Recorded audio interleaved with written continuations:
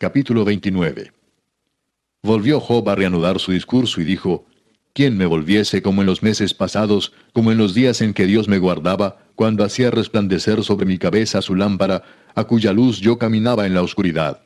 Como fui en los días de mi juventud, cuando el fervor de Dios velaba sobre mi tienda, cuando aún estaba conmigo el Omnipotente y mis hijos alrededor de mí, cuando lavaba yo mis pasos con leche y la piedra me derramaba ríos de aceite cuando yo salía a la puerta de juicio y en la plaza hacía preparar mi asiento, los jóvenes me veían y se escondían, y los ancianos se levantaban y estaban de pie. Los príncipes detenían sus palabras, ponían la mano sobre su boca. La voz de los principales se apagaba y su lengua se pegaba a su paladar.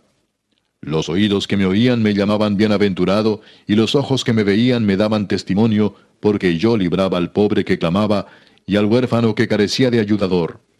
La bendición del que se iba a perder venía sobre mí, y al corazón de la viuda yo daba alegría.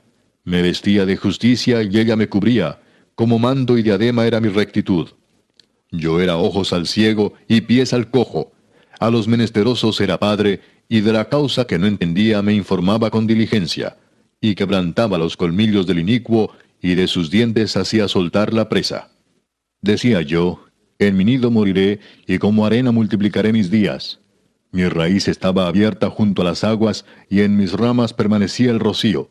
Mi honra se renovaba en mí, y mi arco se fortalecía en mi mano. Me oían y esperaban, y callaban a mi consejo. Tras mi palabra no replicaban, y mi razón destilaba sobre ellos. Me esperaban como a la lluvia, y abrían su boca como a la lluvia tardía.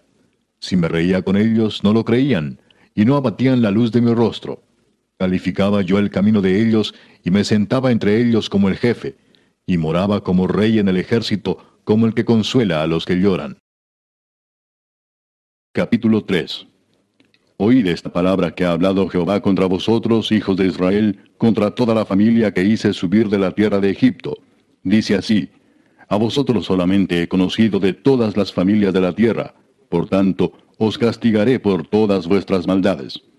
¿Andarán dos juntos si no estuvieren de acuerdo? ¿Rugirá el león en la selva sin haber presa? ¿Dará el leoncillo su rugido desde su guarida si no apresare?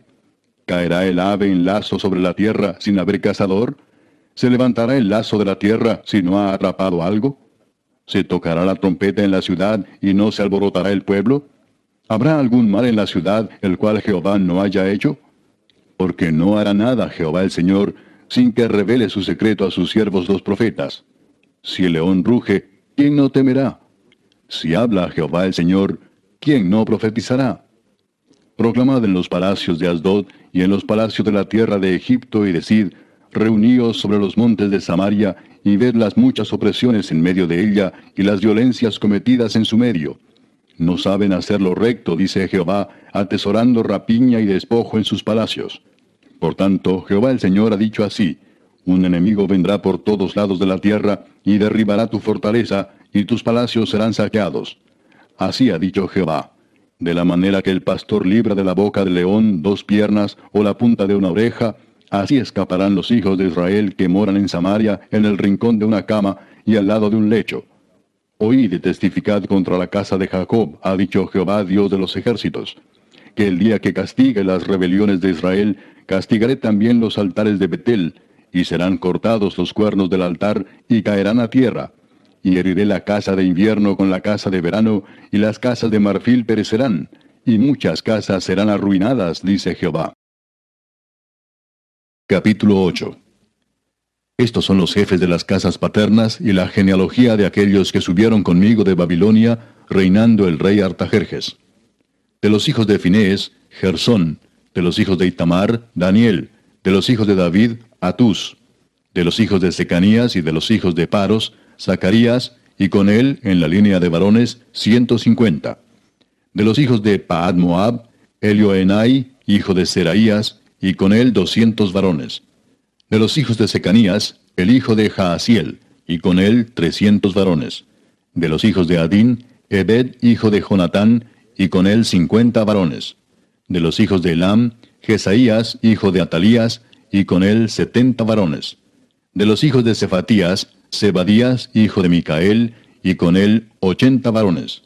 De los hijos de Joab, Obadías, hijo de Jehiel, y con él doscientos dieciocho varones.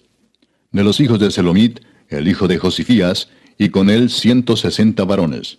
De los hijos de Bebai, Zacarías, hijo de Bebai, y con él veintiocho varones. De los hijos de Asgad, Joanán, hijo de Acatán, y con él ciento diez varones. De los hijos de Adonicam, los postreros, cuyos nombres son estos, Elifelet, Jehiel y Semaías, y con ellos sesenta varones. Y de los hijos de Bigvai, Utai y Sabud, y con ellos sesenta varones. Los reuní junto al río que viene a Aba, y acampamos allí tres días, y habiendo buscado entre el pueblo y entre los sacerdotes, no hallé allí de los hijos de Leví. Entonces despaché a Eliezer, Ariel, Semaías, el Natán, Jarib, el Natán, Natán, Zacarías y Mesuram, hombres principales, asimismo a Joyarib y a el Natán, hombres doctos. Y los envié a Ido, jefe en el lugar llamado Casifia, y puse en boca de ellos las palabras que habían de hablar a Ido y a sus hermanos los sirvientes del templo en el lugar llamado Casifia, para que nos trajesen ministros para la casa de nuestro Dios. Y nos trajeron según la buena mano de nuestro Dios sobre nosotros un varón entendido de los hijos de Mali, hijo de Leví, hijo de Israel, a Serebías con sus hijos y sus hermanos, dieciocho. A Asabías y con él a Jesaías de los hijos de Merari, a sus hermanos y a sus hijos, veinte y de los sirvientes del templo, a quienes David con los príncipes puso para el ministerio de los levitas, doscientos veinte sirvientes del templo, todos los cuales fueron designados por sus nombres.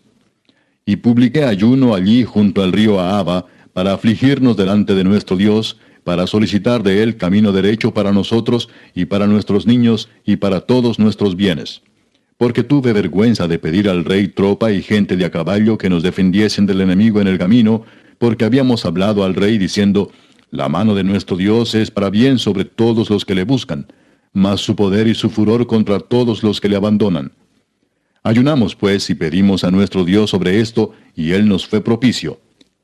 Aparté luego a doce de los principales de los sacerdotes, a Servías y a Asabías, y con ellos diez de sus hermanos. Y les pesé la plata, el oro y los utensilios, ofrenda que para la casa de nuestro Dios habían ofrecido el rey y sus consejeros y sus príncipes y todo Israel allí presente. Pesé pues en manos de ellos seiscientos cincuenta talentos de plata y utensilios de plata por cien talentos y cien talentos de oro. Además, veinte tazones de oro de mil dracmas y dos vasos de bronce bruñido muy bueno, preciados como el oro. Y les dije, Vosotros estáis consagrados a Jehová, y son santos los utensilios, y la plata y el oro, ofrenda voluntaria a Jehová Dios de nuestros padres. Vigilad y guardadlos hasta que los peséis delante de los príncipes de los sacerdotes y levitas, y de los jefes de las casas paternas de Israel en Jerusalén, en los aposentos de la casa de Jehová. Los sacerdotes y los levitas recibieron el peso de la plata y del oro y de los utensilios para traerlo a Jerusalén, a la casa de nuestro Dios. Y partimos del río Ahava el doce del mes primero para ir a Jerusalén. Y la mano de nuestro Dios estaba sobre nosotros, y nos libró de mano del enemigo y del acechador en el camino. Y llegamos a Jerusalén, y reposamos allí tres días. Al cuarto día fue luego pesada la plata, el oro y los utensilios en la casa de nuestro Dios, por mano del sacerdote Meremot, hijo de Urías, y con él Eleazar, hijo de Finés, y con ellos Josabad, hijo de Jesúa, y Noadías, hijo de Benui, levitas. Por cuenta y por peso se entregó todo, y se apuntó todo aquel peso en aquel tiempo.